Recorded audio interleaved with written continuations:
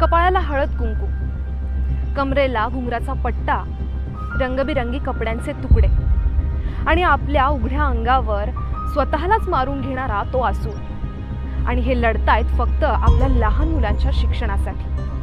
हा समाज नेमका कोणता आहे? आणि देशाला स्वातंत्र्य मिळून सत्याहत्तर वर्ष पूर्ण होतील तरीही हा समाज शिक्षणापासून वंचित काय?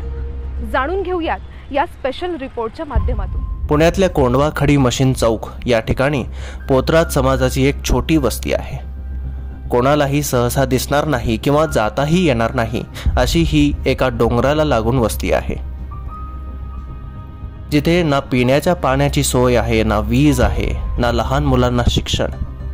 इथे राहणाऱ्या सर्व बांधवांची एकच इच्छा आहे ती म्हणजे आमच्या मुलांना चांगलं शिक्षण मिळावं आणि ते शिकून मोठे व्हावेत. गरीब काय रुपये नाही आमच्याकडे काय मागितलं जेव्हा नाही. प- मागाय गेलं तरच पोटाला येतोय आम्हाला. काय रुपया नाही आमचं शिकवायला काय गाणायला म्हणलं. आता की शिक्षण जीवन नाही. पहिल्याचं राजी नाही ना राहिला. पहिल्याचा मग दिवस गेलाय. आता कसले दिवस लागलेला शिक्षण काय म्हणजे शिक्ष शिक्षण करायचं शिक्षण केलं जेव्हा प- कामाधंद्याला लावते. काय मेडिकलमध्ये कामाला.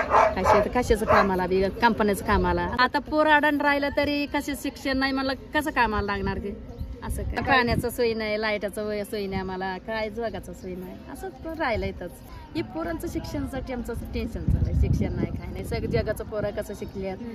कामाला लागलेत सगळं पोरं शिक्षण झालं. आता नाही ना शिकलेलं कोणच.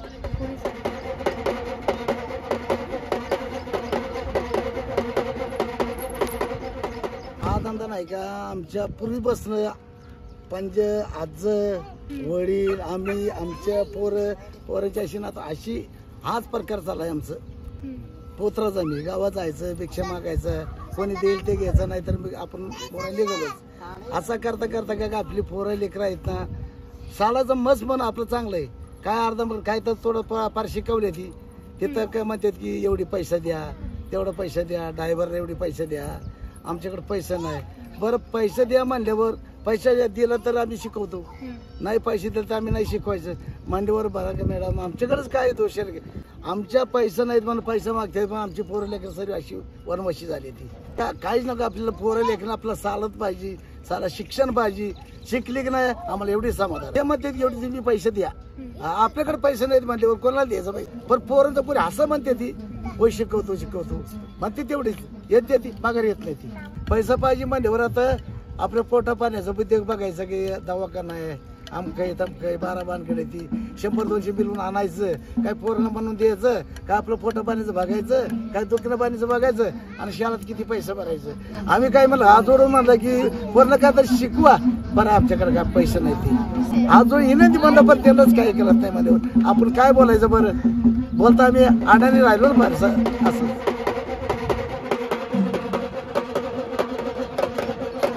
कडक लक्ष्मीवाला काही भागामध्ये यांना पोतराज म्हणतात काही भागामध्ये मरियमवाले म्हणतात आणि आपल्या या मुंबई प्रांतामध्ये हे विमुक्तांच्या यादीमध्ये येतात. परंतु मध्य प्रांतामध्ये हे एस टीच्या यादीमध्ये येतात. हा देश अर्थशास्त्राच्या अर्थव्यवस्थेमध्ये पाचव्या क्रमांकाला आलेला आहे. परंतु या महाकाय लोकशाही प्रदान या भारत देशामध्ये आजही असमतोल विकास झालेला आहे. भटक्या विमुक्त जाती जमाती एस सी एस टी प्रवर्गामधल्या अशा ज्या जाती आहेत ज्या भटक्या विमुक्तांच्या यादीमध्ये येतात ज्या एस टीच्या यादीमध्ये येतात त्यांच्यापर्यंत आजही ना अन्न मिळालं ना वस्त्र मिळालं ना शिक्षण मिळालं. आजही हे नागरीकरणाच्या समाजीकरणाच्या आणि शिक्षणाच्या दायऱ्यामध्ये कुठंही येऊ शकलेल्या नाहीत. शालाबाह्य पहिलीलाही ऍडमिशन न घेणारी मुलं आहेत. आजही या लोकांना कास्ट सर्टिफिकेट मिळत नाही. आजही यांना नगरपालिकेच्या जिल्हा परिषदेच्या शाळेमध्ये ऍडमिशन्स मिळत नाहीत. आजही ही लोक या महाराष्ट्राची संस्कृती सस्टेन करतात. या महाराष्ट्राची संस्कृती. मराठीमध्ये एखादा चित्रपट यायचा म्हटलं तर सगळ्यात पहिल्यांदा कडक लक्ष्मीवाल्याचं वर्णन येतं. कडक लक्ष्मीवाल्याच्या ढोलग्याचा आवाज घुमतो. कडक लक्ष्मीवाल्याचा आसूड ओढून घेतला जातो. म्हणजे महाराष्ट्राची संस्कृती स्वाभिमान म्हणून एका बाजूला यांचं चित्रीकरण करायचं आणि दुसऱ्या बाजूला मात्र आजही अन्न वस्त्र पाणी शौचालय महिलांची आरोग्याच्या सुविधा आजही यांच्यामध्ये एवढ्या या पालामध्ये जर आपण नजर टाकली तर इथं आजही वीस पंचवीस लोक अपंग आहेत. जेनेटिक अपंगत्व त्यांच्या पिढ्यान पिढ्या त्यांना सस्टेन होतंय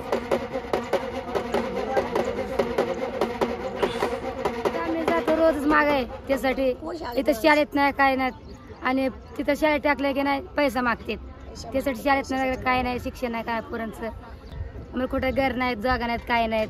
असंच गावान गाव इंडात जायचं इथं पण भाड्यानं राहिलंय मी इकत पण आणतोय पाणी इकत आणतोय. आणि जोगाचं भाडं महिन्याला तीन हजार भाडं भाडं पैसा पुरत चाललंय. त्यासाठी पोरं शिक्षण नाही काय नाही.